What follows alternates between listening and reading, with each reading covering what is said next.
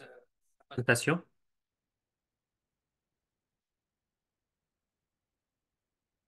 Amplificateur RF, micro-ondes. Je pense que oui.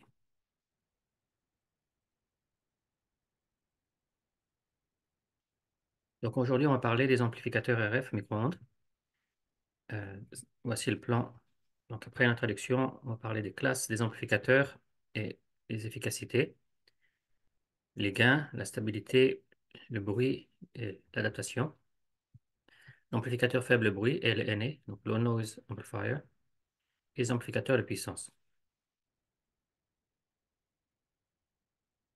Donc, euh, on voit ici un schéma bloc euh, d'un système émetteur-récepteur sans fil. On, vous voyez ici les données qu'on va envoyer. Donc, ça va passer dans votre système. Et ici, c'est l'antenne d'émission, de, de, réception. Ici, vous avez comme utilisateur pour la transmission et la réception. Ici, la réception, ce sont les données de réception. à, la réception à la réception, vous avez besoin d'un amplificateur qu'on appelle LNA, donc Low Noise Amplifier, amplificateur faible bruit. Et à la transmission, on a un amplificateur ici qu'on appelle amplificateur de puissance, en anglais Power Amplifier.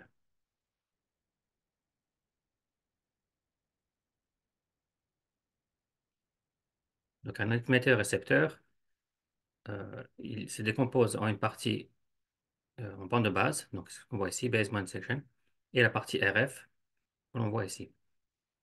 La partie bande de base, c'est euh, tout ce qui fait appel à l'électronique, ce qu'on appelle basse fréquence. Et c'est ce que vous avez vu en électronique première et deuxième année. Et RF, et donc c'est l'électronique haute fréquence. Et donc dans le RF, vous voyez ici, vous avez le, le, mélangeur, le modulateur, etc. Euh, l'amplificateur de puissance, euh, l'amplificateur faible bruit, les filtres et les autres composants RF. Les circuits RF peuvent être euh, réalisés selon différentes technologies. Il y a la technologie la plus connue, Microwave Integrated Circuit, donc MIC. Les circuits sont conçus sur des substrats d'alumine de 0,25 pouces d'épaisseur et les composants discrets sont ensuite installés sur ceci, comme on voit ici. Le, transistor ici, il est installé après.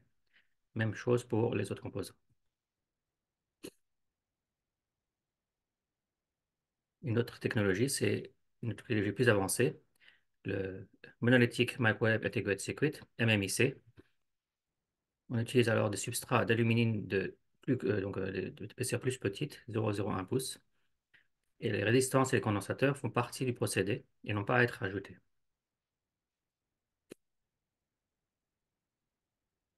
Technologie hybride, miniature hybrid microwave integrated circuit, donc MHMIC, c'est euh, une technologie hybride entre MMIC et MIC.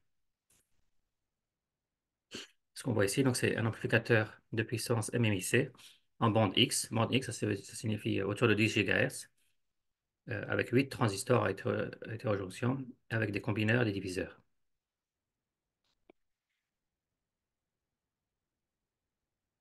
Donc on voit l'évolution de la technologie.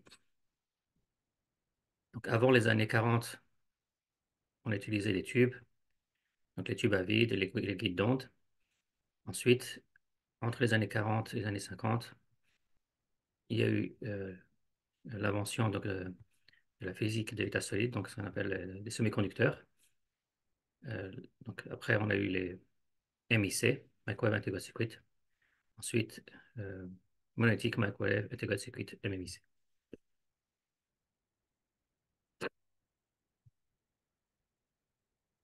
Donc, il y a plusieurs technologies et, composants pour, pour réaliser des amplificateurs. Donc, on peut utiliser différents types de, transistors. Transistors euh, bipolaires, donc euh, bipolaire junction transistor, transistor MOSFET, donc transistor à effet de champ, euh, transistor HPT, PHEMT, HFET, etc.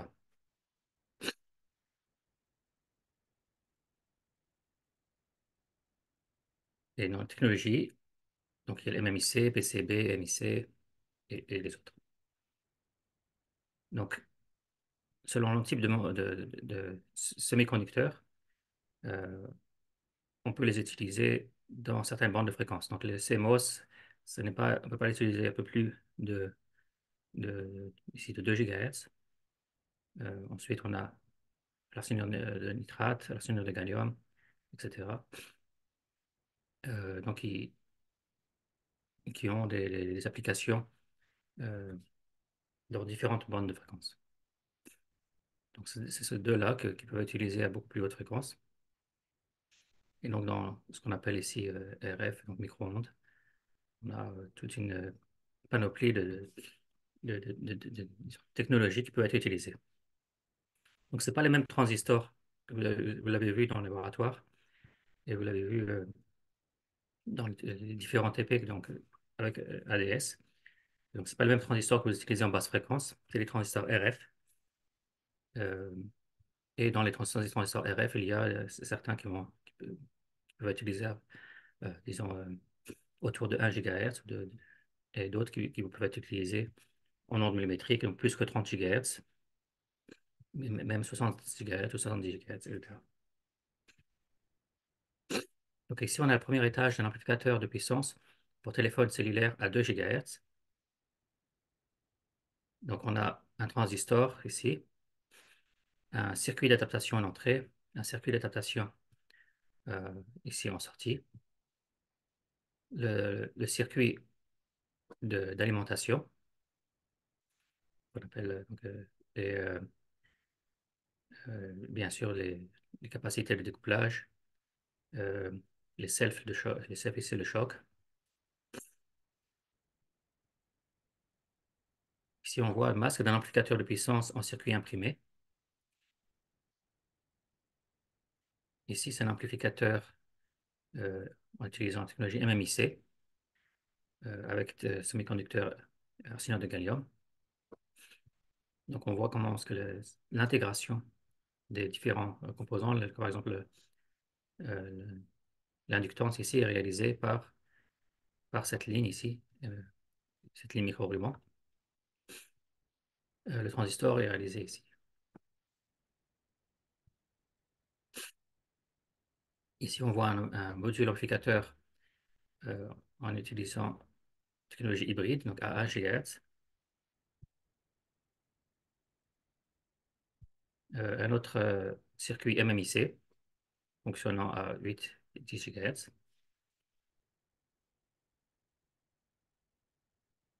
Donc, selon le type de, semi-conducteur ou le type de, transistor, donc transistor à effet de champ avec arsenure de gallium, transistor euh, à haute mobilité d'électrons, HEMT, euh, transistor bipolaire et transistor HBT, euh, qui est transistor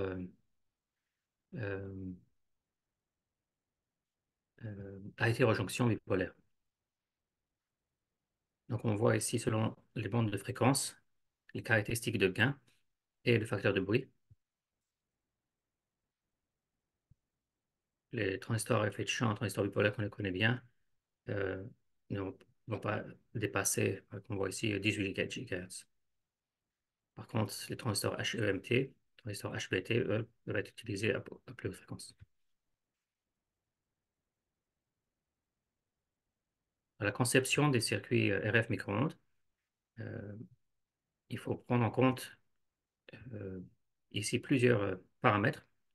C'est les caractéristiques que l'on souhaite euh, obtenir. On, souhaite obtenir un faible bruit, euh, une certaine puissance, un, fonctionnement à une certaine bande de fréquence, un gain, euh, disons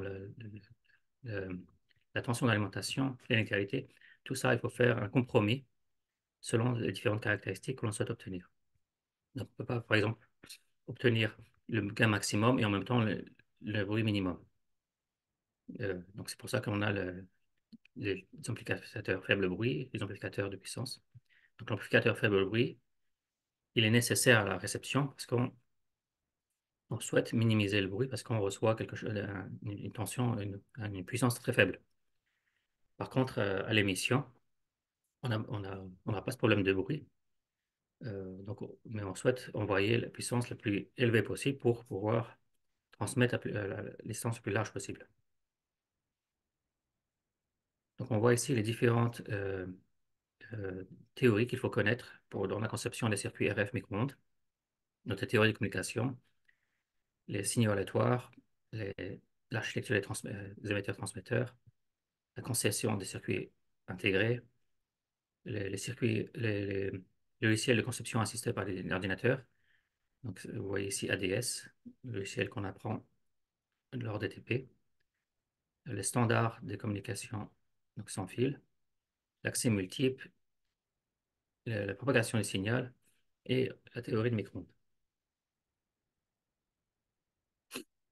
Je rappelle ici le schéma équivalent euh, petit signal, puis transistor bipolaire et les transistors FH.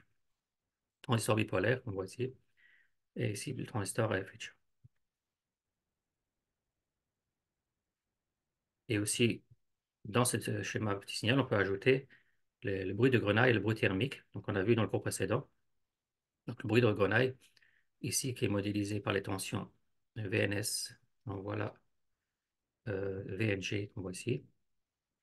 Et le, bruit de grenaille, donc c'est le, le, le, bruit qu'on voit ici avec le courant ING et l'autre courant qu'on voit ici.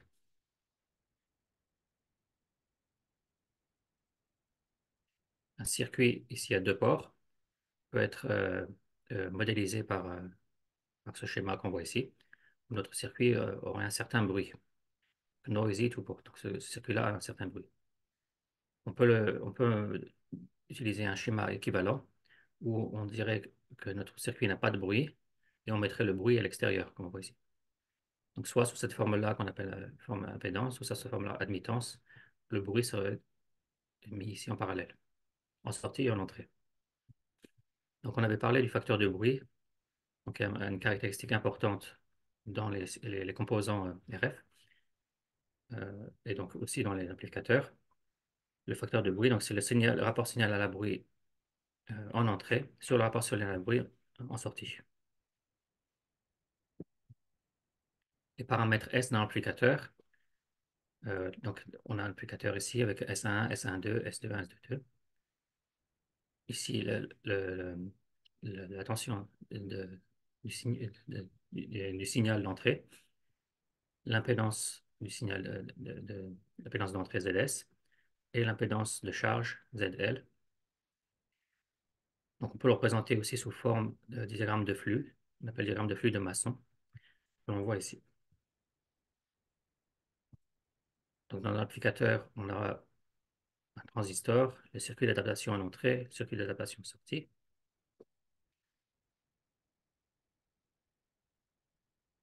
On voit le même schéma ici. Alors, ce qu'il faut noter ici, c'est le coefficient de réflexion gamma in, on voit ici. Et ici, le coefficient de réflexion gamma out. Donc, on a les paramètres S du transistor. Puisqu'on a un circuit d'adaptation ici en entrée, un circuit d'adaptation en sortie, le coefficient de réflexion qu'on va voir ici va être fonction des paramètres S du transistor, mais aussi de, en fait, ce qu'on voit ici, gamma L. Et le Z out va être fonction des paramètres S du transistor et de gamma S ici. Le facteur de bruit, comme on avait, on avait vu qu'on pouvait le calculer si on avait euh, ici plusieurs euh, euh, composants en cascade, avec différents facteurs de bruit, donc NF1, NF2, NF3, etc., et différents gains, G1, G2, etc. Si on veut le facteur de bruit total, ici à l'entrée, alors ça va être égal au facteur de bruit du premier étage, plus facteur du bruit du deuxième étage moins 1 sur G1, etc. etc.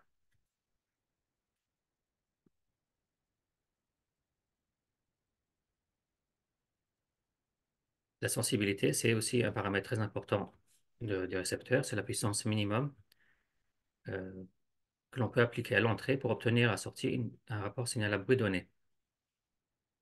Donc, dans ce calcul, on, va voit ici qu'on a KT, euh, euh, donc T c'est la température ambiante, K constante de Boltzmann, le facteur de bruit, ici la bande de fréquence, et le rapport signal à bruit en sortie qui est désiré le point d'interception du troisième ordre. Donc, on avait vu que euh, donc nos, composants actifs. Euh, on l'avait vu pour le mélangeur. C'est la même chose pour l'amplificateur. Euh, ce sont des composants qui ont des fonctionnements non linéaires. Et donc, si on introduit un, signal de tonnes, donc de fréquences à l'entrée, on va se retrouver avec des intermodulations des, des, deux fréquences. Et l'intermodulation qui est euh, disons, la plus importante à prendre en compte, c'est l'intermodulation qu'on appelle le troisième ordre. Donc, en, prenant la forme fondamentale, et euh, ici, l'harmonique, ici, troisième ordre, de F1 plus ou moins F2. Et le point où il, euh, on a l'interception, c'est ce qu'on appelle le, IP, le IP3. Dans notre cas ici, n égale 3. C'est la façon dont on peut calculer euh, ce point-là. Et donc, on avait vu que si on mettait un signal de tonnes à l'entrée, à la sortie, on va se retrouver avec toute une gamme de fréquences qui est liée au fonctionnement linéaire de notre euh, dispositif. Donc, on va avoir la fréquence F1, F2, mais aussi on va avoir les intermodulations entre les, différents, les différents signaux.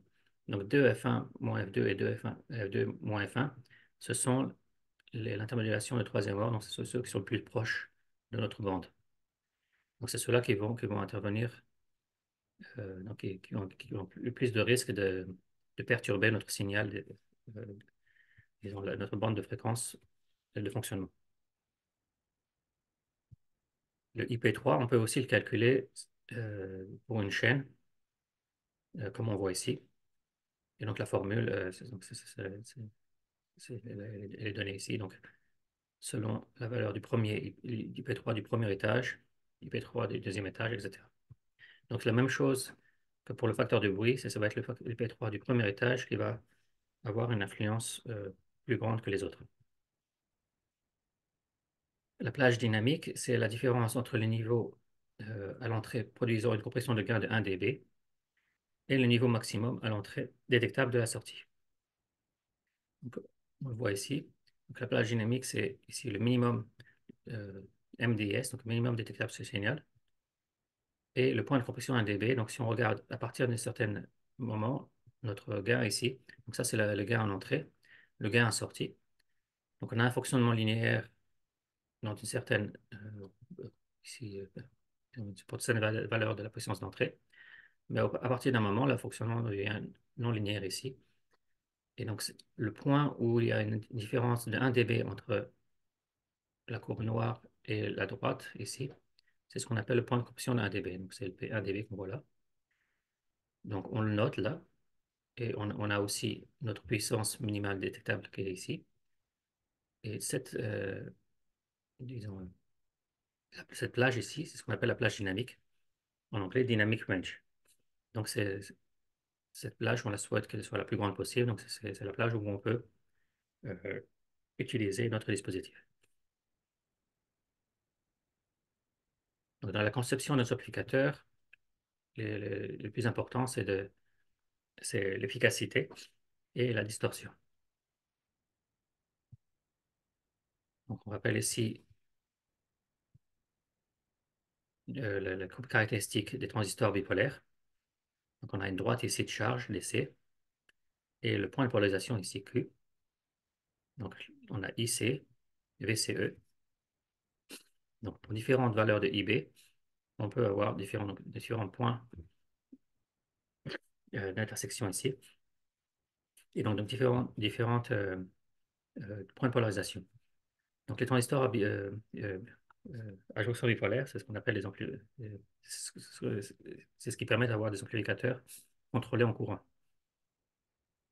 Les transistors à effet de champ, eux, donnent des amplificateurs contrôlés en tension. Donc, selon les valeurs de VGS, on va avoir différents points euh, de polarisation ici. Donc, on voit ici un transistor, euh, transistor à jonction bipolaire. Ici, un transistor à effet de champ.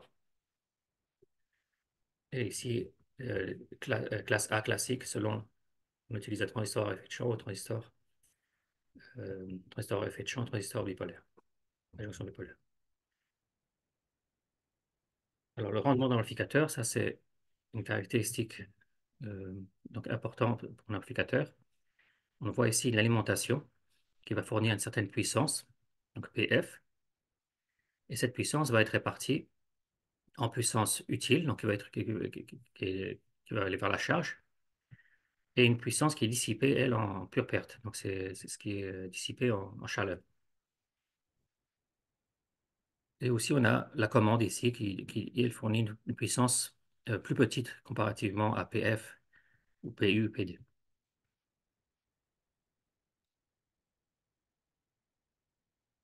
Alors, les amplificateurs, il y a différentes classes d'amplificateurs.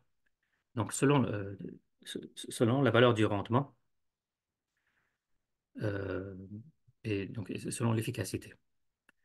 Donc, les classes, si on regarde ici un transistor euh, à effet de champ, donc un, point qui serait ici, donc, autour du point A, c'est un amplificateur de type classe A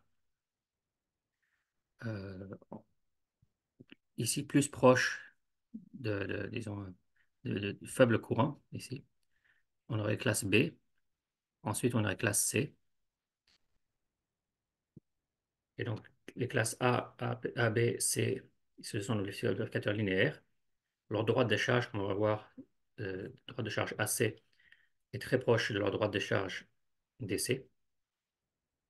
Et les amplificateurs D, c'est notre type d'amplificateur, de classe D, donc, eux, c'est les amplificateurs à commutation. Si on compare ici le type de signaux qu'on a au niveau de VGS, classe A, classe AB, classe B, etc.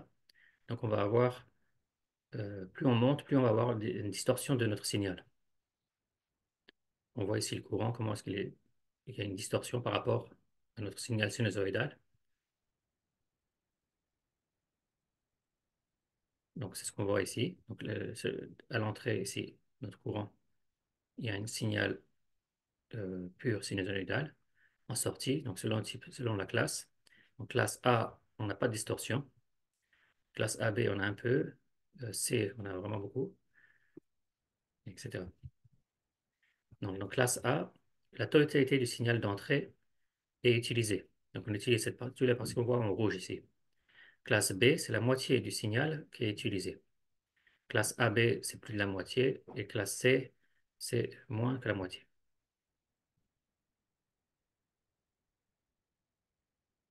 Donc, classe A, euh, ils ont, euh, les amplificateurs de classe A ont un faible rendement. Euh, B, ils ont un meilleur rendement, mais plus de distorsion. Et classe C, ils ont un fort rendement, mais ils ont aussi une distorsion importante. On voit ici, selon les classes A, B, C ou AB, on voit la, droite de charge DC et la droite de charge AC qui sont proches. Par contre, pour la classe D, la droite de charge AC et DC sont différents.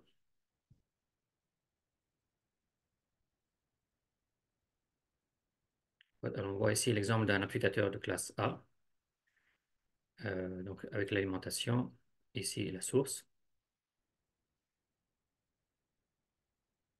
Donc, dans cet exercice, on va étudier le, point d'interception. Alors, euh, euh, il y a des questions ici. On voit donc on dit que cet amplificateur est, modélisé autour du point d'opération avec un une transition en linéaire. Donc, IDS égale à A1 VGS plus A3 VGS, VGS puissance 3. Avec les valeurs ici de A1 et A3. L1, c'est une cercle de choc. Euh, et on considère donc qu'il est, c'est en circuit ouvert dans la bande de fréquence de fonctionnement. C1, c'est une capacité de, couplage donc, qui, elle, va être considérée comme un court-circuit à la fréquence d'opération. Et R2, c'est ici la charge. Donc on demande d'abord quel est le modèle petit signal donc, quel est le, pardon, euh, quel est le, le, gain euh, en tension petit signal de l'amplificateur Donc, comment on fait? Donc, on, exprime VO, donc on voit ici VO, en fonction du courant ITS. Donc, c'est moins IDS R2. Euh, ensuite, IDS, ici, on a vu qu'il pouvait s'exprimer comme ceci, mais on va, on va prendre la partie linéaire. Donc, c'est petit signal, ça signifie qu'on va prendre juste la partie linéaire. Et donc, on va, ça va nous donner moins A1, R2. Et donc, si on fait VO sur VI, on va trouver... Euh, euh, donc, c'est ici qu'on a remplacé IDS. Donc, IDS, on a remplacé ici, ça nous donnait donc euh, A1 v, VI. Et donc, si on fait VO sur VI, on va trouver ici le gain en tension.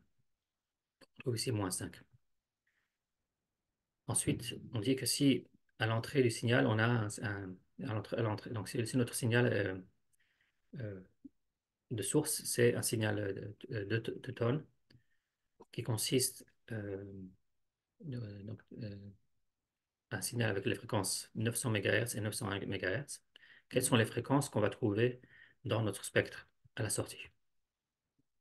Donc, qu'est-ce qu'il faut faire? Il faut prendre, par exemple, il faut écrire VGS comme étant A cosinus X plus B cosinus Y. Et on entre ça dans notre relation de, IDS, on va utiliser donc A1 VGS, A3 VGS 3, puisqu'on va avoir en fait tous les, euh, on va avoir le fonctionnement non linéaire. Donc si on fait ça, on, doit développer ça à la puissance 3. Le VGS, c'est la puissance 3. Euh, donc, notre VGS donc, va être constitué de A cosinus X plus B cosinus Y. Donc, si on développe ici après calcul, on va trouver quelque chose. On va trouver ça. Donc, on va trouver le X et Y, c'est notre, nos deux fréquences à l'entrée. Aussi, on va trouver ici 3Y, euh, 2X moins Y, 2X plus Y, 3X, etc. Donc, si on fait euh, euh, les calculs, on va trouver donc le 899 MHz, 900 MHz, 901 MHz, etc.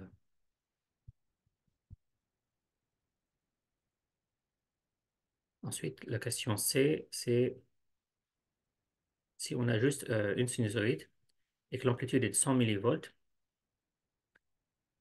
euh, quelle est la valeur de la fondamentale et, euh, et aussi de, l'harmonie du troisième ordre, la troisième harmonique. Donc, si on revient ici, donc il suffit d'utiliser cette formule-là mais on considère y égale 0. Donc, on a une seule fréquence. Donc, si on fait ça, on va se retrouver ici, on voit que l'on a 3x, on a ici x. Donc, on peut calculer l'amplitude pour le, euh, cosinus x, et on peut calculer aussi l'amplitude pour cosinus 3x. Et donc, il suffit juste de remplacer euh, euh, disons les, valeurs, et on va trouver ici les deux amplitudes. Ensuite, la dernière question, c'est quel est le point d'interception de troisième ordre en entrée et le point d'interception de troisième ordre en sortie. Donc là, il suffit juste de faire le... Euh.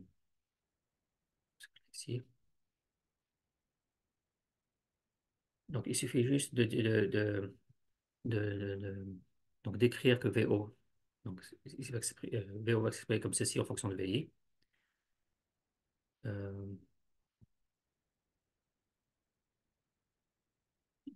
Et pour le troisième ordre, VO, donc, s'exprime comme, comme ceci. Donc le, 900 MHz, il s'exprime comme ceci, et celui de 899 MHz s'exprime comme ceci. Et on, va savoir à quel moment, lorsque VO, ces deux VO sont égales. C'est pour quelle valeur de VI. Donc si on fait ça, on va dire que ça, c'est égal à ça. On va trouver la valeur de VI. Donc, est, qui est le point de réception de troisième ordre en entrée. Pour avoir le point de réaction en sortie, il faut multiplier par notre gain ici en tension, donc qui était de 5, et on va trouver ici notre, point d'intersection de troisième ordre en sortie. Alors, comme on a vu l'efficacité, on peut le calculer en prenant en compte notre, puissance RF en sortie sur la puissance DC et la puissance RF in. C'est ce qu'on appelle euh, l'efficacité totale. On peut aussi définir l'efficacité de la puissance ajoutée. On fait en fait PRF moins PRF in, PRF out moins PRF in sur P, euh, puissance DC. Ça, c'est une autre euh, efficacité. Et aussi, on peut définir l'efficacité comme ceci, PRF out sur PDC. on peut exprimer notre puissance, ici celle-ci, le PAE, en fonction de celle-ci, et de, de, notre gain, en fait, de l'amplificateur. Lorsque la puissance RF in est très petite devant PDC, dans ce cas-là, ici, notre efficacité ici est la même que l'efficacité de la puissance ajoutée. Donc, selon la valeur du gain qu'on voit ici, on a l'efficacité totale, l'efficacité de la puissance ajoutée et l'efficacité ici, tout court. Donc, pour les, gains euh, très élevés, les trois efficacités ont la même valeur. Par contre, il devient différent lorsque le gain est ici plus petit. Euh, alors ça, vous, pourrez le revoir euh, chez vous. c'est euh, un calcul, c'est un, exemple, le calcul de l'efficacité. Donc, je vais passer ça. Alors, l'efficacité maximum pour un applicateur de classe A, l'efficacité maximum est de 25% avec une alimentation, une alimentation résistive. Si on utilise une alimentation inductive, on peut augmenter l'efficacité jusqu'à 50%. La classe B, elle peut avoir une efficacité plus grande, donc euh, autour de 78%. Classe C, c'est 100%. Classe E et F, c'est aussi autour de 100%. Donc, on voit ici, selon le, type de modulation de signal, euh, donc FSK, QPSK, etc., QAM, etc. On voit ici euh, l'efficacité. Euh, si, on, dit que celui-ci a une valeur de 1, euh, si on normalise l'efficacité ici par, le premier ici, qui est l'efficacité la plus grande, on voit en fait les valeurs pour les autres. pour le classe A et le classe E, les types d'efficacité qu'on peut aussi obtenir.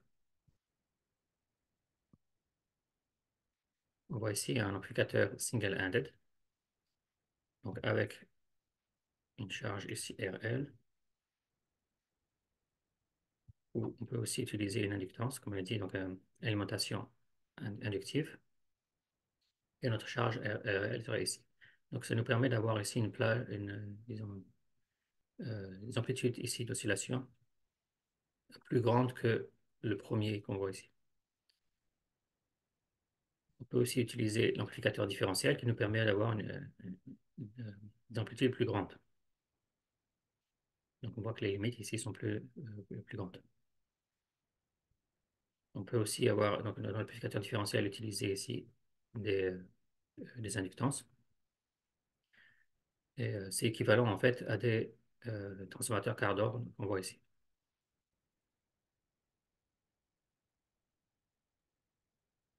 Donc ça, c'était l'amplificateur différentiel. Dans l'amplificateur différentiel, on a besoin ici d'une source de courant. Mais aussi, on peut utiliser ce schéma plus simplifié qui nous donne un amplificateur euh, qu'on appelle pseudo-différentiel. Donc, on voit ici une, analyse du euh, mode de réjection, euh, du, rapport de, le rapport de réjection du mode commun. Donc, on a vu ça, aussi en électronique 2. Euh, donc, c'est la même chose qu'on a ici pour les amplificateurs RF.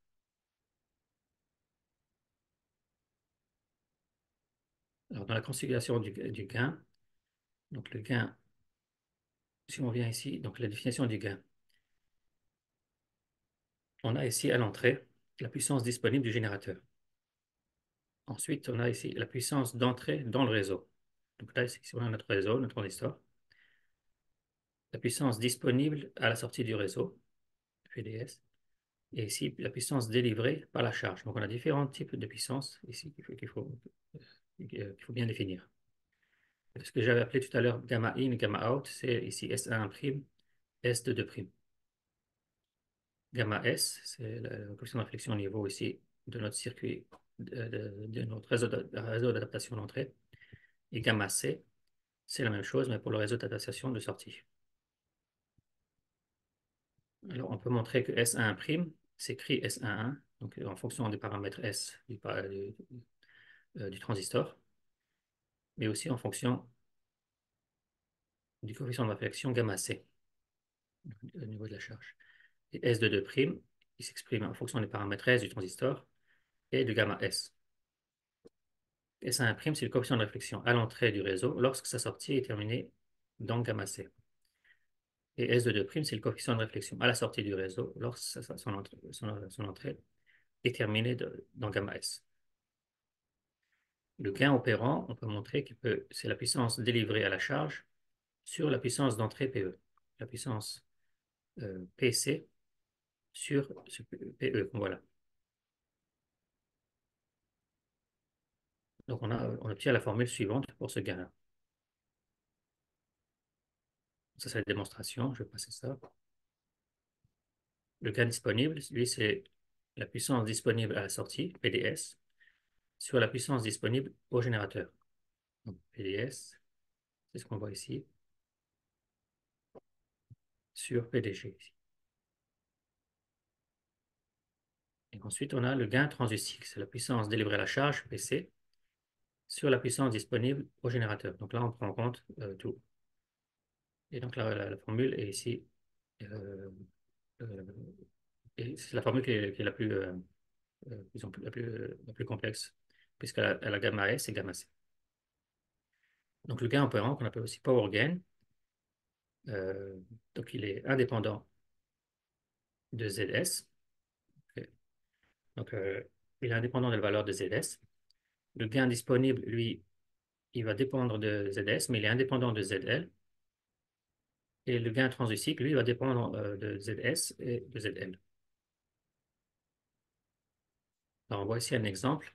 On donne les paramètres S d'un transistor à une, certaine bande, à une certaine fréquence. Donc, les paramètres S du transistor changent en fonction de la fréquence. Ce sont des valeurs complexes, vous voyez, les amplitudes et avec les angles. Et on donne ici les valeurs de ZS et ZL. Ensuite, on nous demande euh, ici le, le gain opérant, le gain disponible et le gain transusique. Donc, il suffit juste d'utiliser les formules. Donc, si on a ZS et on a ZL, on peut calculer le gamma S et gamma L. Ensuite, on peut calculer ici ce qu'on appelle gamma in et gamma out. C'était le S1', S2'.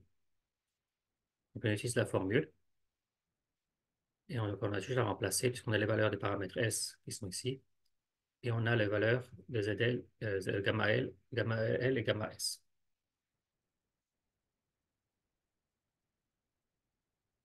Ensuite, pour le gain, ça c'est le gain opérant, le gain disponible et le gain transusique, on a juste à utiliser les formules. Si on, pose, si on revient sur le gain transusique, c'est la formule est donnée ici. C'est celui-ci. Et si on considère que S euh, euh,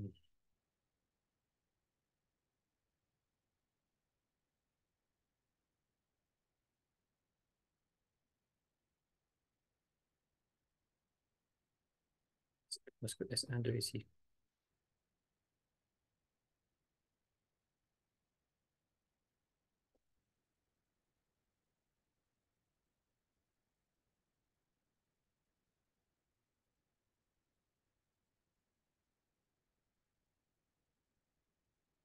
de voir où est la simplification ici. Je, pense que celui-ci est déjà unilatéral. Euh, parce qu'il n'y a pas de S1. Ah si, oui, si. Le S1-2 va être dans le, S, là, dans le S de 2'. Donc, soit il est dans le S de 2', soit le S1'. On peut l'exprimer comme ceci ou comme ceci.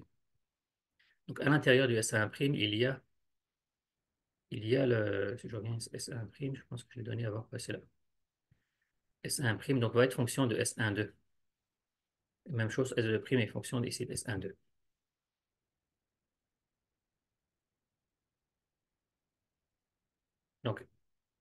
si on pose que S, 1 euh, 2 égale 0, c'est ce qu'on voit là, ça signifie quoi? Ça signifie en fait qu'il n'y a pas de transmission du port 2 au port 1. Donc, on a une transmission seulement du port 1 au port 2. Notre applicateur, il est juste euh, dans un seul sens. Euh, donc, c'est ce qu'on souhaite en fait. Si on transmet notre signal ou à la réception, on ne veut pas que ça passe dans l'autre sens. Euh, donc dans ce cas-là, on, parle de notre gain transducique unilatéral. Donc on met ici U et on pose ici S12 égale 0. Dans ce cas-là, on va avoir juste ici S11 et ici S22. On n'a plus les primes. Celui-ci, on l'appelle GS, cet élément-là. Celui-ci, c'est G0 et celui-ci, c'est GC. Donc celui-là, il fonctionne de gamma C, celui-ci, il fonctionne de gamma S, et celui-ci, c'est le S12.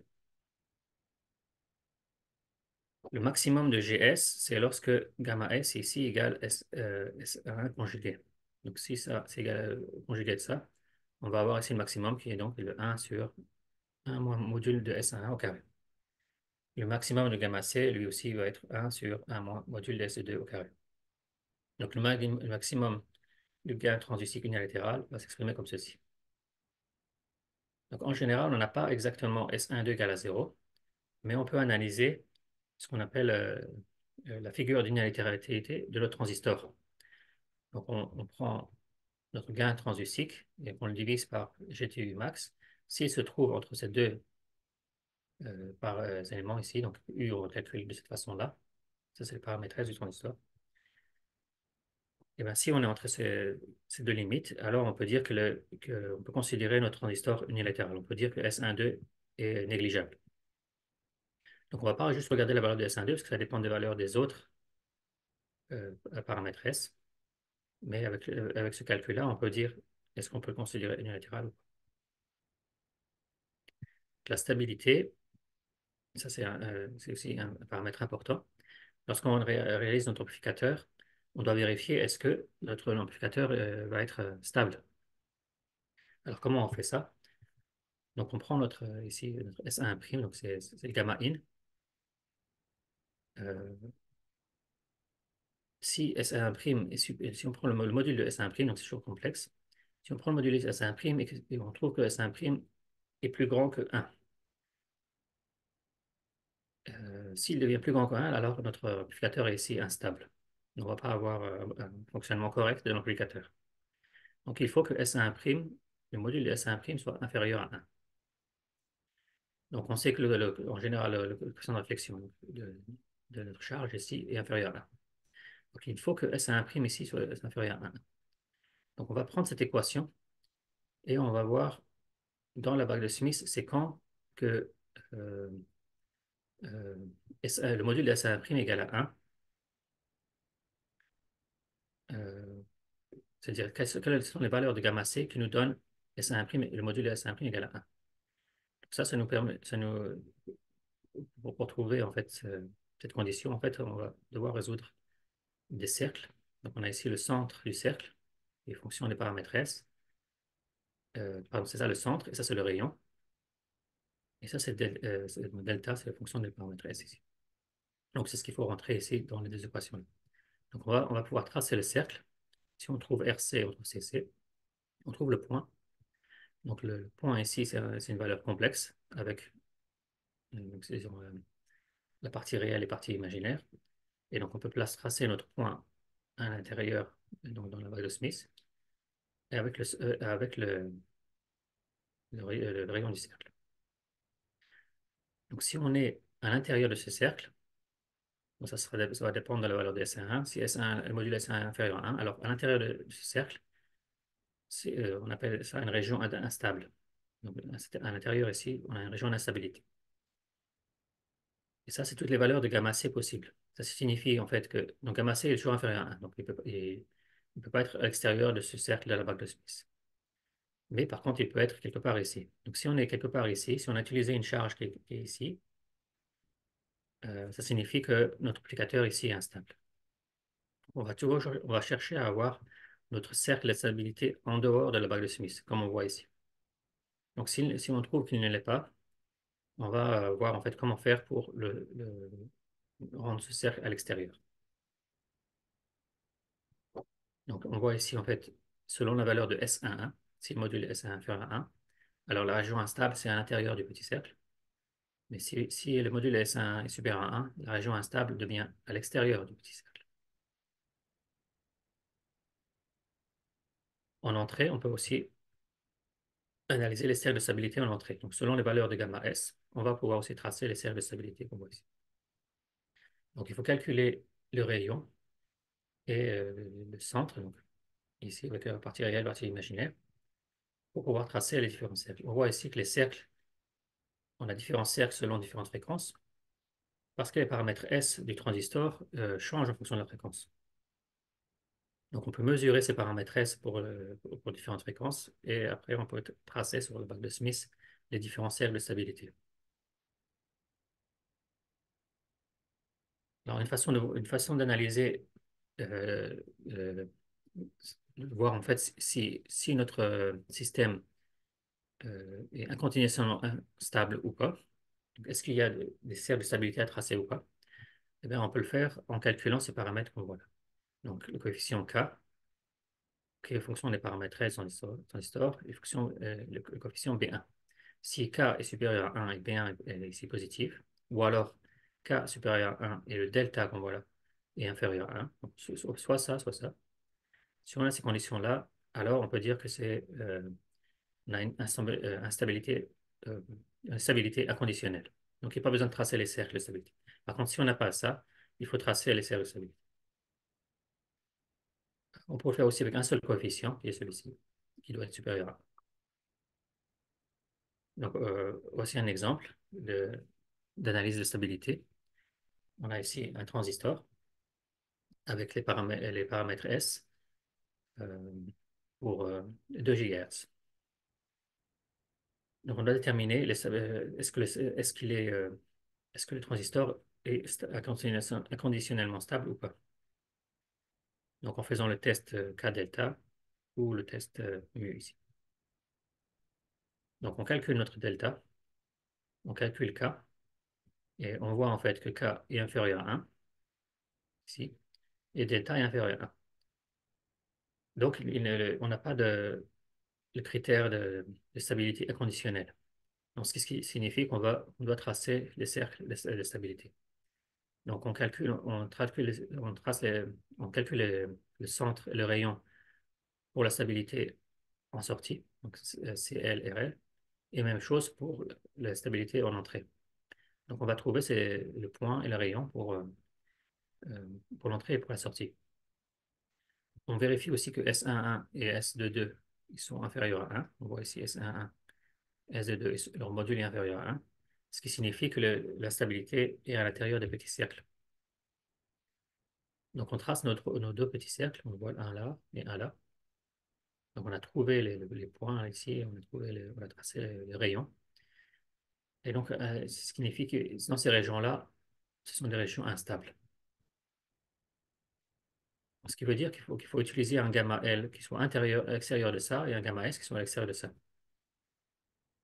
Et si on veut que notre amplificateur peut être utilisé pour, euh, euh, pour n'importe quel cas ou pour n'importe quelle charge de sortie ou dans gamma S ou gamma L, alors ce serait idéal de faire en sorte que ces cercles deviennent à l'extérieur de la bague de Smith. Alors, qu'est-ce qu'on comment on peut faire en rajoutant une résistance? Donc, on voit ici dans cet exemple comment on fait. On prend par exemple ici le cercle de stabilité en entrée. Donc, c'est celui-ci dans cet exemple-là, ça c'est le cercle de stabilité en sortie. On regarde ici à quel moment ce, euh, cercle-là euh, va toucher. Euh, il y a différents cercles qu'on peut regarder. Donc, soit les cercles d'impédance constant, soit les cercles d'admittance constant. Même chose pour lui, soit les cercles d'impédance constant, soit les cercles d'admittance constant. Et donc, on regarde à quel moment il devient tangent. Donc, ce cercle-là, avec le cercle d'impédance constant, c'est pour cette valeur ici de 29 euh, ohms. Euh, donc, ça, c'est pour la, sortie. Par contre, pour l'entrée, euh, ouais, c'est pour l'entrée, pardon. Non, pardon, celui-là, c'est celui-là que je vais vous montrer là, c'est 9 ohms, pardon. Celui-là, c'est 9 ohms. Donc, celui-là, c'est impédance. Et on trouve ici 9 ohms. Ça signifie que si on mettait une impédance en série, comme on voit ici, alors on va pouvoir faire en sorte que ça, ça va euh, devenir à l'extérieur. Et euh, en général, il suffit de le faire pour un, que ce soit pour le sortie ou pour l'entrée, pour que ça fonctionne. Il n'y a pas besoin d'aller regarder euh, le, le cercle de gravité en sortie. si on le fait pour un, ça marche euh, pour les deux, pour la sortie et l'entrée. Donc il suffit soit d'ajouter cette résistance ici en série, mais il y a les autres solutions, cette résistance en parallèle. On voit ici qu'il devrait être de 71,5 ohms. Euh, ou alors pour la sortie, ajouter ici 29 ohms en série, ou alors 500 ohms en parallèle. Donc ça, c'est les différentes solutions. Soit on met une résistance en entrée, soit une résistance en sortie, c'est-à-dire soit en série ou soit parallèle, soit série, soit parallèle. Et ça, avec ça, euh, notre, euh, notre, transistor, avec cette résistance, devient stable inconditionnellement. Et donc, les cercles de stabilité deviennent à l'extérieur de la bague de Smith. On peut aussi tracer les cercles de gain euh, constants. Pour le gain opérant, euh, on a la formule suivante. Donc GP ici, S, 2 1 carré. On peut calculer de même manière le centre et les rayons pour une valeur de, gain donnée. Et on peut tracer donc ces cercles de gain. Donc, on voit ici MSG, ça signifie maximum stable gain, donc euh, gain de maximum stable. Euh, et donc, pas différentes. Là, ici, on a, un gain de 3 dB, ici 2 dB, ici 1 dB. Donc, on a différents cercles. Euh, même chose pour le gain disponible. Et on peut tracer ici les gains disponibles.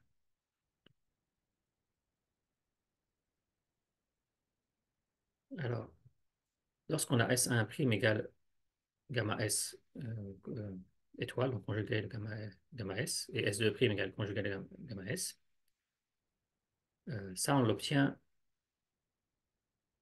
comme ceci. Donc, il, faut, il faut que gamma S soit égal à ça, et gamma C soit égal à ça. Donc, B1, B2, c'est en fonction des paramètres S, sont ça. Même chose pour C1, C2 et M pour match, donc euh, adapté. Donc là, lorsqu'on les deux sont, on a, on a ces deux conditions, on a adaptation simultanée en entrée et en sortie. voici un exemple. On a ici les paramètres S à trois fréquences, 3 GHz, 4 GHz, 5 GHz de notre transistor.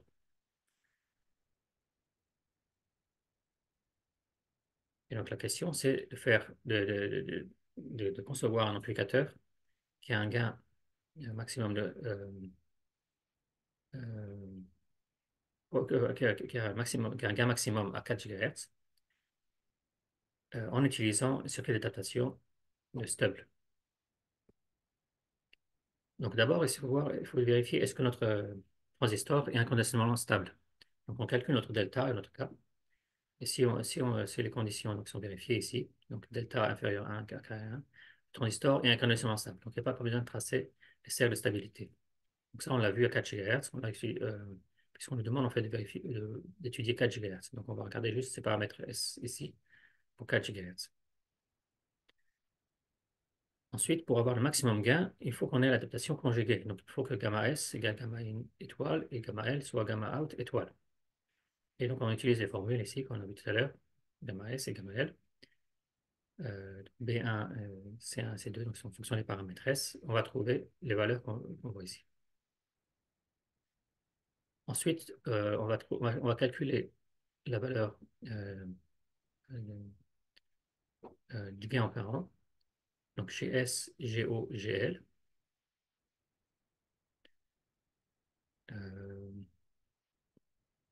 Donc, puisqu'on a trouvé gamma S et gamma L, on a juste à remplacer ici. Ensuite, le gain trans du cycle, il faut, il faut ajouter ces, valeurs-là. Donc 6,2, 6 plus 8.3 plus 2.22. Alors, pour obtenir en fait notre gamma S et notre gamma L, donc c'est les, les, coefficients de réflexion, les, les circuits d'adaptation. Euh, donc, on, part de notre, notre, euh, de, notre impédance euh, adaptée. et on, va, trouver le circuit qui nous permet d'avoir cette valeur-là du coefficient de gamma S. Même chose pour gamma L. On a, vu ça dans euh, notre cours sur les circuits d'adaptation. Donc on va voir en fait, on peut utiliser les stubs pour obtenir ces valeurs-là de gamma S, même chose ici pour gamma L. Donc on part ici de l'adaptation, donc Z0 c'est 50 ohms, donc on est au centre de Wagner-Smith. Il faut ajouter un stub et un autre stub pour se retrouver ici, pour avoir ici gamma S. Et même chose ici, pour aussi avoir ici, gamma C. Donc, on si on trace avec l'ordinateur ici le gain en fonction de la fréquence, euh, même chose, le coefficient de, réflexion, euh, réflexion, de notre transistor en fonction de la fréquence. Donc ici, on a une bonne adaptation euh, parfaite à 4 GHz. Et le gain aussi maximum à 4 GHz. Le gain maximum stable, la valeur du gain maximum stable, GMG, on peut montrer que c'est S 1 sur S 2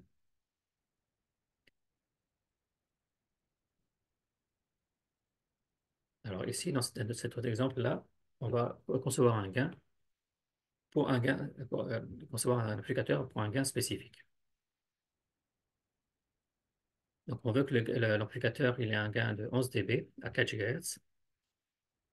On va tracer les gains, les cercles de gain constants pour GS de 2 dB, 3 dB, GL 0 dB, 1 dB.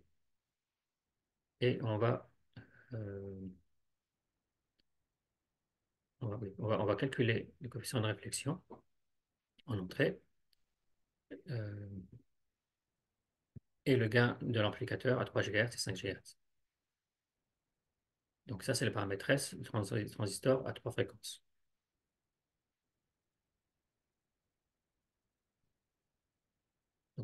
on peut vérifier que notre, transistor est unilatéral, puisque S1 2 ici égale à 0.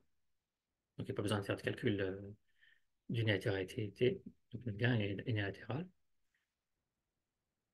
Euh, et aussi, on peut vérifier, puisque S1 est inférieur à 1, S2 est inférieur à 1, euh, dans ce cas-là, en fait, notre transistor va être inconditionnellement stable. Donc, on utilise les formules pour avoir GS max et L max. GL max. On trouve les deux valeurs ici. Et le gain G0 est donné ici pour 8 dB. Donc G max, c'est 13.5 dB. Donc on a 2.5 dB de plus que ce qui est requis dans la spécification, puisqu'on va avoir 11 dB. Ensuite, on peut, on peut tracer nos différents cercles. Donc, on utilise ce qu'on a vu dans le cours, ce qu'on a vu tout à l'heure, en fait. Euh, les cercles de gain constant. Je pense que c'est quelque part ici. C'est ceci. Donc, le centre et les rayons.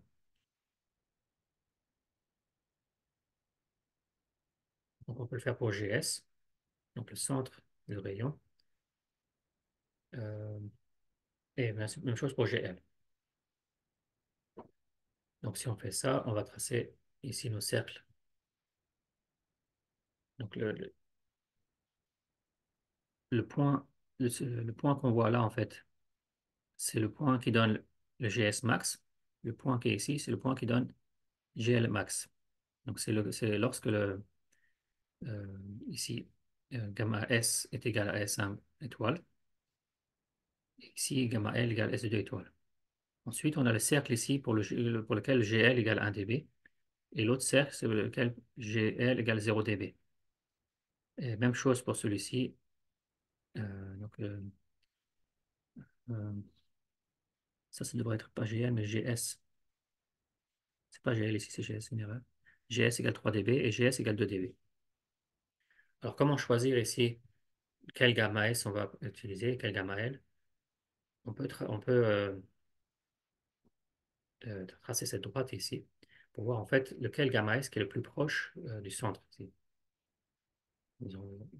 Et donc, puisqu'on veut avoir 11 dB, on peut prendre ici 2 dB ici 1 dB.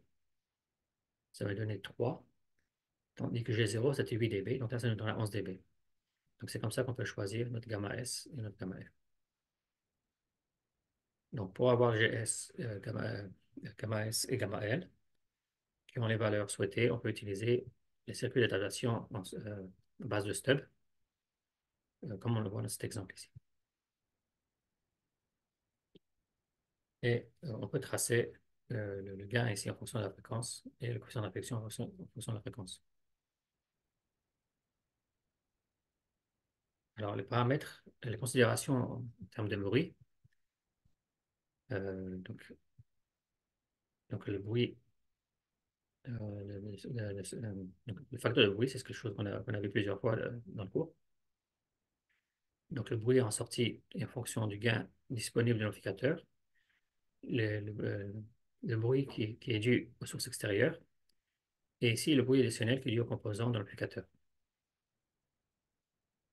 Donc NE, c'est KT0B. NA, c'est KTEGAB. Donc si on fait le facteur de bruit, donc la proportionnel à bruit en entrée sur la proportionnelle à bruit en sortie, on va avoir cette relation, puis à la fin, on va avoir donc 1 plus TE sur TE. T0. TE, c'est la température équivalente de bruit. Donc, comment le faire euh, expérimentalement? Comment, comment analyser le bruit de notre, euh, dispositif? ça, c'est le dispositif sous test. Et ici, on va mesurer la puissance. Dans un premier cas, on va mettre à l'entrée une certaine température de bruit, donc T1. Et dans le deuxième cas, on va avoir une autre température de bruit, T2. Ce qui fait qu'à la sortie, on va avoir euh, notre puissance ici. Une, puissance, on va définir comme puissance de bruit N1 ici N2. Et donc, euh, GA peut être calculé en fonction de N2 et N1 et T2 T1, T2. Et euh, euh, NA va être donc peut être calculé de cette façon-là. Et le facteur de bruit on va être en fonction ici de N1, N2, N2 et T2 et T1. Donc on peut calculer le facteur de bruit de notre dispositif en utilisant cette méthode. Alors, pour un quadripôle passif, le facteur de bruit, c'est 1 sur GA. Euh, pour un quadripôle sans perte, le facteur de bruit égale 1. Euh, le, le facteur de bruit d'un quadripôle actif change en fonction de l'impédance du générateur.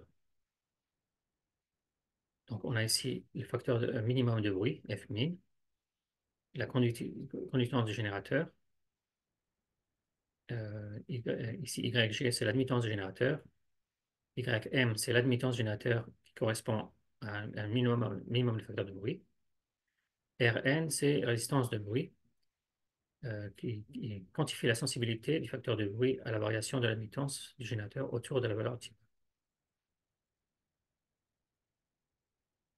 Donc, afin de mesurer le F min, on place des synthoniseurs euh, à faible perte à l'entrée et à la sortie du transistor. Le synthonisateur d'entrée est accordé de façon à obtenir le minimum de bruit, alors que le synthonisateur de sortie est syntonisé de façon à maximiser le gain. Le synthoniseur d'entrée est déconnecté, puis, euh, puis mesuré sur un analyseur de réseau de façon à mesurer euh, gamma M. Et afin de trouver Rn, le transistor est directement relié à la source à l'entrée sans le syntonisateur, donc G égale 0, et le facteur F1 de bruit est mesuré. On calcule Rn alors à partir de l'équation suivante.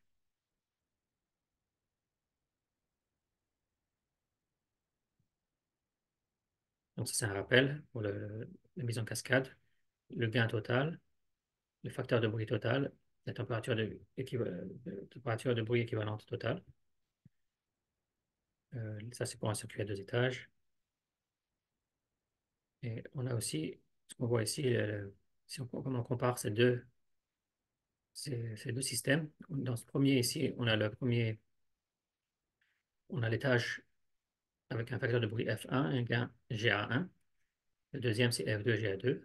Si on permute, on met le premier ici, euh, F2, GA2, ensuite F1, GA1, on va avoir euh, le facteur de bruit total qui va être différent, comme on le voit ici. Et on peut caractériser ces deux possibilités. Donc, si on fait F1 moins 1 sur 1 moins 1 sur G1, Donc, si, si F1,2 est, inf si F est inférieur à F2,1, ça signifie que ça, c'est inférieur à ça. Et donc, ce paramètre-là, c'est ce qu'on appelle la figure de mérite ici, M. Donc, il faut, on connaît le facteur de bruit de notre euh, étage et son gain. Pour chaque étage, on a, ces valeurs-là. On peut, on peut, donc calculer la figure de mérite pour voir en fait le, lequel il faut mettre en premier. Si on, met en cascade euh, des amplificateurs identiques, dans ce cas-là, on va avoir ici toujours F, F, F, le même gain. Euh, et donc, euh, si on fait la limite de ça lorsque n tend vers l'infini, ça va nous donner ici la figure de mérite en fait. Ça signifie que le, facteur de bruit total va être 1 plus m.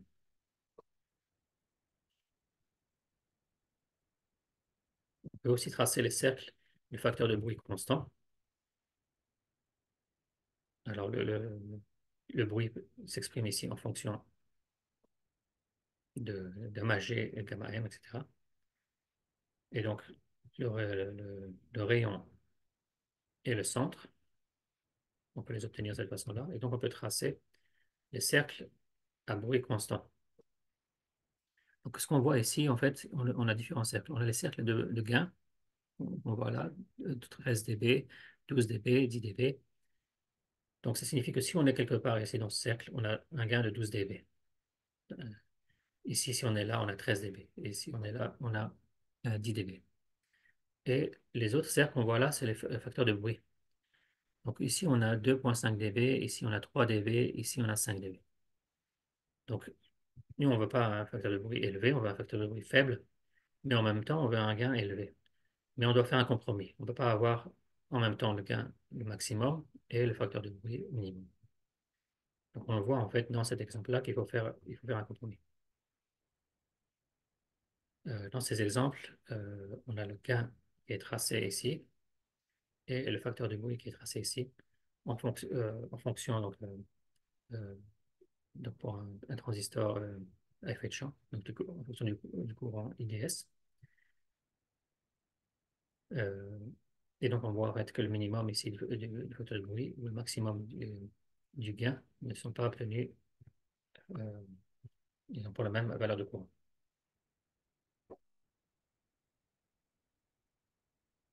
Euh, euh, même chose ici, on a le S de 1 en fonction de la tension euh, d'alimentation, le facteur de bruit et ici la valeur de S de 1.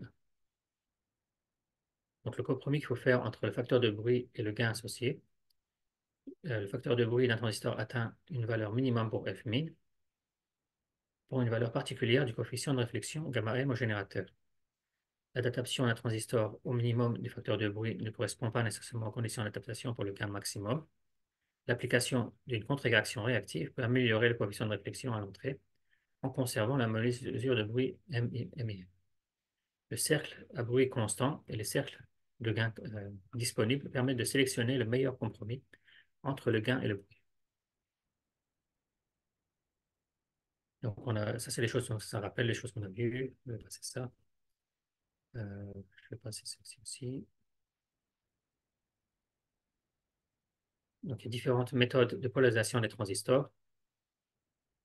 Euh, donc, on voit ici euh, donc, les, A, B, C sont tous avec deux alimentations, donc VD et VG.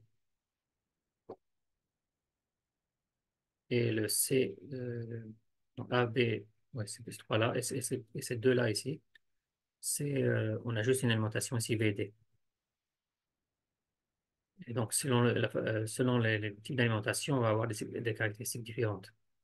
Alors, ceci, on donne des faibles bruits, haut gain, haute puissance et haute efficacité.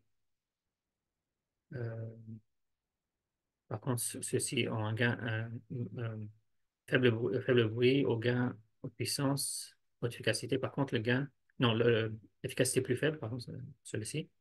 Par contre, le gain peut être euh, ajusté facilement euh, en faisant varier RS. Donc c'est l'avantage de ces, ces deux qu'on voit ici.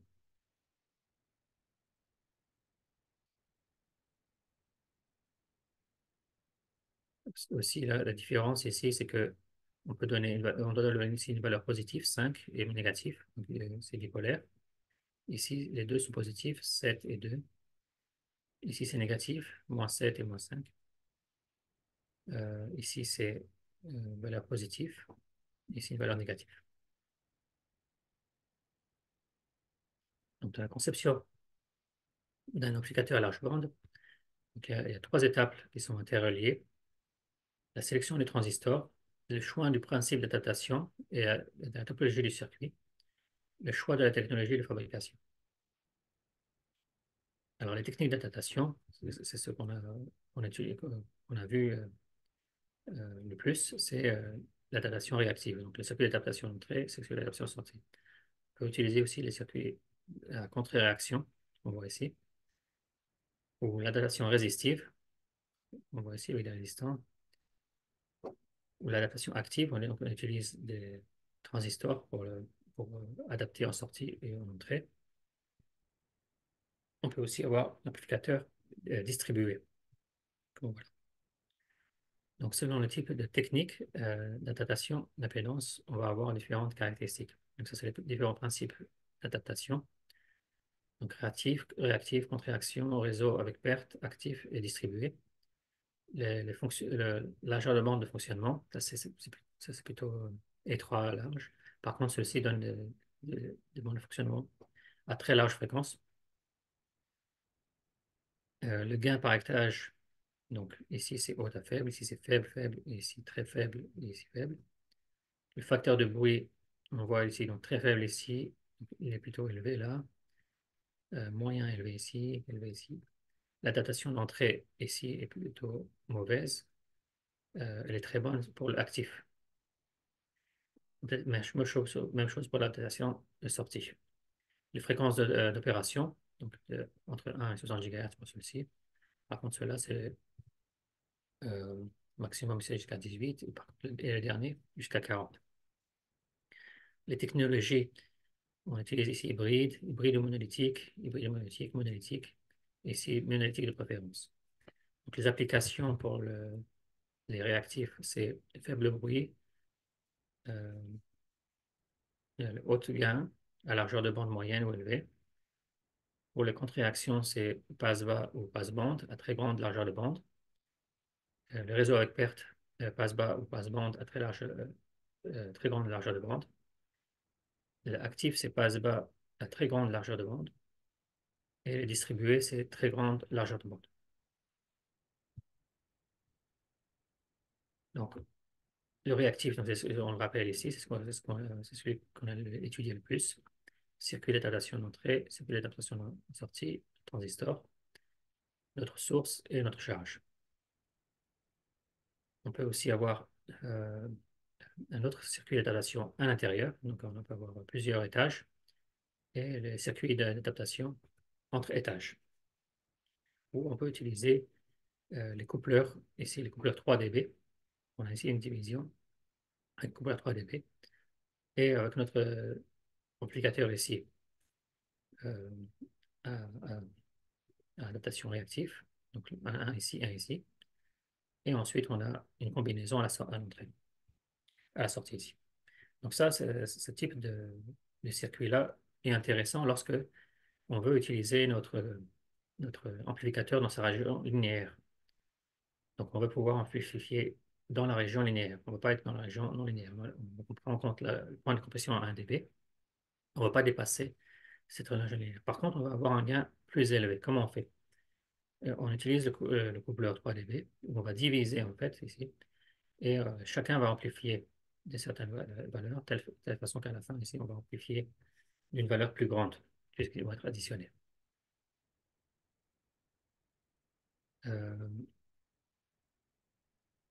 donc l'amplificateur a deux étages, donc on doit prendre en compte le le circuit d'adaptation ici, entre étages. Donc on a deux transistors et on a un circuit d'adaptation à l'entrée circuit d'adaptation à la sortie. donc on doit définir ici le gamma in N, gamma out M. Et donc on a différentes conditions selon que l'on souhaite avoir le gain, un gain élevé ou une puissance, puissance haute. ou un faible bruit. L'amplificateur euh, à faible bruit, Low Noise Amplifier, les amplificateurs LNA sont une classe d'amplificateurs linéaires des récepteurs à fort gain ayant une faible bruit, un faible bruit ayant une bonne linéarité, une impédance stable et une faible consommation de puissance. voici un exemple d'un amplificateur euh, faible bruit, euh, euh CMOS, Cascode.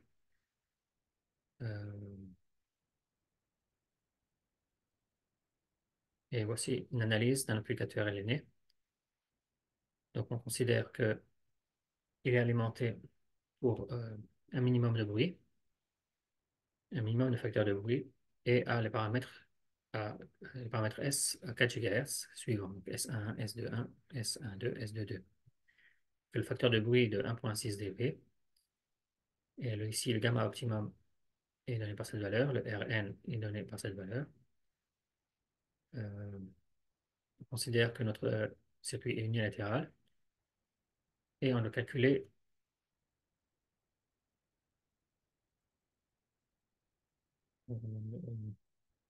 Oui, donc si, on considère qu'il est unilatéral, calculer l'erreur maximum que l'on fait dans GT avec cette, euh, euh, hypothèse. Ensuite, euh, concevoir un applicateur qui a un, facteur de bruit de 2 dB avec un, gain maximum pour pour ce facteur de bruit. Donc, d'abord, on va analyser l'unilatéralité. Donc, U est donné par cette relation. Donc, on obtient ici la valeur de U. Et ensuite, on utilise euh, le 1 sur 1 plus U au carré, et 1 sur 1 moins U au carré. On trouve 0.891 et 1.1, 1.13. Euh, Donc, en dB, ça signifie que GTU moins GTU, euh, GT moins GTU doit être entre moins 0,5 et 0,53 dB. Donc, ça signifie en fait que si on considère unilatéral, l'erreur qu'on peut faire, c'est maximum, c'est de 0,5 dB, plus ou moins 0,5 dB. Donc, c'est en considérant qu'il y a on fait une erreur euh, euh, qui peut être négligeable. 0,5 dB, ça peut être euh, négligeable. Ensuite, on doit calculer ici notre n. Donc, on a le gamma optimum. Donc, on obtient ici notre n de 0.0986. Ensuite, le, centre et le rayon. Donc, ça, c'était pour le, euh, les facteurs de bruit. Obtenir ici le centre, qui est une valeur complexe, et le rayon ici, qui est une valeur euh, absolue. Donc, on peut tracer ici les cercles de... Euh, donc, ce qu'on voit ici, c'est les cercles de, de gain.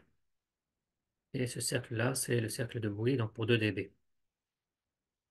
Et l'optimum pour le, bruit, c'est le, point qui est là. Et pour 2 dB, c'est le, cercle qui est là. Donc on nous demande pour, pour 2 dB d'avoir euh, un gain, euh, je ne me souviens plus de combien, euh, le maximum, maximum gain. Donc on prend ici, on essaie d'avoir, de voir à quel moment on a le maximum en gain. Donc c'est le point qui est là c'est gamma S, euh, qui va être intersection avec celui-ci qui nous donne 1.7 dB.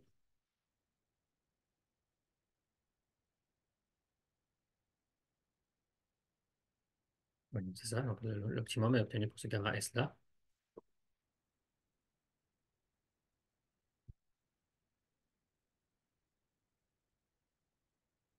Euh, Oui, donc ça, c'est les autres valeurs. Donc c'est 1, 1, 5, etc. Euh, oui, donc ça, c'est la description en fait de, ce qu'on ce vient de voir. C'est comment, comment ces, différents cercles ont été tracés. Et en fait, le 1.7, c'est celui qui est, qui est intersection avec ce cercle-là. Ensuite, puisqu'on a en fait le gamma S et le gamma L, on doit on va trouver le circuit ici, de notre, le, circuit en, base de stub, qui nous permet d'obtenir ce gamma S et ce gamma L. Euh.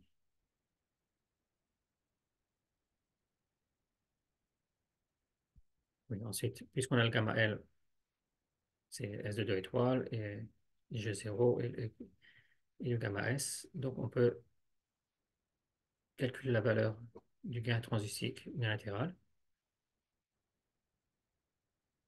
Et donc, ça nous donne ici 8,53 dB.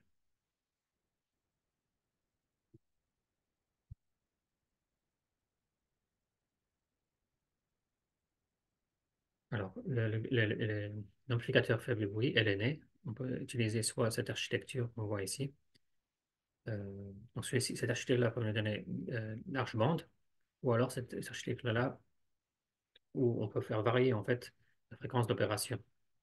Donc, on a un résonateur ici, une inductance, une capacité variable. On peut faire varier la, fréquence d'opération. Donc, on peut euh, changer la, bande d'opération. Par contre, avec celui-ci, on va avoir un fonctionnement euh, large bande. Puisqu'en fait, ce sont des transistors qui sont utilisés euh, pour disons, le circuit d'alimentation. Donc, on a parlé des transistors à faible bruit, LNA. Maintenant, on va parler des transistors de puissance, donc Power Amplifier. Les amplificateurs de puissance sont utilisés au, dernier étage d'un émetteur pour augmenter le niveau de, puissance rayonnée. La considération importante sont l'efficacité, euh, la linéarité, le gain, l'intermodulation, le ACPR et le peak to average ratio.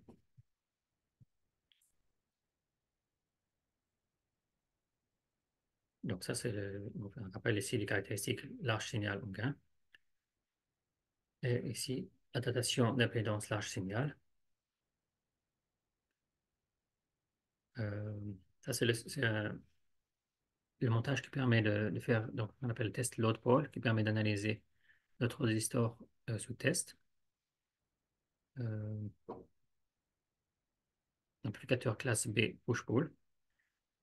Le classe B syntonisé. on retrouve ici un signal non, sans distorsion. Le produit d'innovation, le troisième ordre, il faut prendre en compte, c'est important. Euh, je vais passer ça. Les, les, les, caractéristiques désirées pour les amplificateurs de puissance euh, dans différents systèmes de communication, communication cellulaire. Donc, ça, c'est les fréquences, euh, la puissance de sortie, la, la linéarité et l'efficacité. Donc, AMPS, c'était vraiment avant le GSM. Euh, ça, c'est GSM, DSS, TDMA, CDMA. Donc, on voit ici les, différentes caractéristiques de notre applicateur de puissance. Alors, voici un exemple où, en fait, on a un applicateur de puissance qui fonctionne, à 900 MHz, qui utilise le transistor ici Motorola MRF858S NPN, euh, transistor bipolaire à base de, silicium. Et donc la puissance euh, de sortie, on veut que ce soit de 3 euh, watts. Il faut réaliser, concevoir euh, le circuit d'adaptation en entrée et en sortie cet amplificateur. Il faut trouver la puissance euh, d'entrée qui, est requise et, euh, calculer l'efficacité de la puissance ajoutée.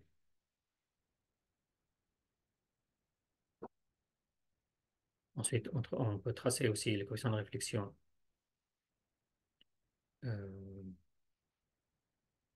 une réflexion pour avoir euh, l'adaptation conjuguée. Euh, donc, on lui, donne en fait ici les paramètres S de notre transistor, S1, S12, S21, S22. Et pour une valeur de VCO, VCE de 24 volts, notre courant ici, ici c'est 0,5 ampères.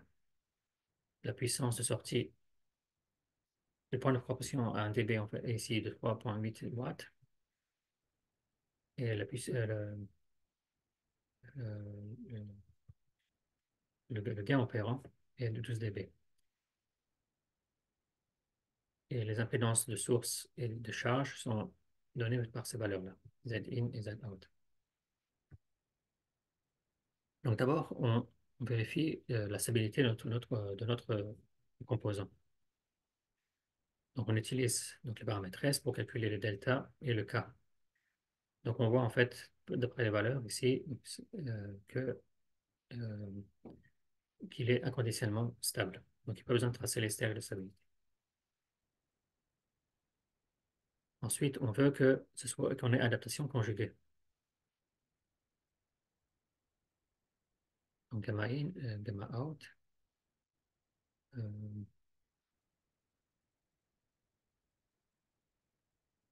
Donc adaptation conjuguée, il nous faut ça en fait. Il faut que gamma S. Donc là, là on a le gamma in et le gamma out, on l'a calculé en fonction euh, des impédances en fait qui sont données. Donc ZS, ZI et ZL, ça nous permet de trouver ces, euh, ces valeurs-là. Ensuite, la dotation conjuguée, on va utiliser les, relations qu'on avait précédemment euh, et on obtient ces valeurs-là.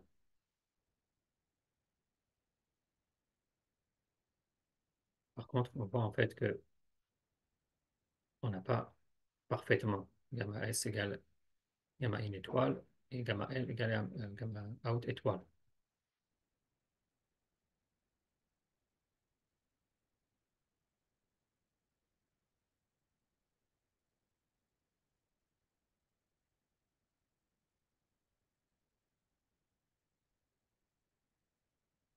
Donc, Donc, en fait, on doit plutôt prendre gamma in étoile, gamma étoile. Donc là, on a vu en fait que c'était différent lorsque les puissances sont larges. Lorsque les puissances sont larges, on n'a pas forcément égal ici au conjugué. Donc on va prendre vraiment le conjugué. On va prendre gamma S égale gamma étoile et gamma L égale gamma out étoile. Donc si on fait ça, on va trouver les circuits d'adaptation ici en entrée, les circuits d'adaptation en sortie. Euh, ensuite, pour une puissance ici euh, de 3 watts en sortie, quelle est la valeur de la puissance d'entrée? Donc, on a la puissance de sortie, on a le gain opérant, qui est de 12 dB. On fait le calcul, on voit qu'une fois à l'entrée, 188, 189 mW. Ensuite, on a l'efficacité de la puissance ajoutée. C'est P out moins P in sous PDC. Et on trouve ici 23,4%. Donc, c'était le dernier transparent. Euh,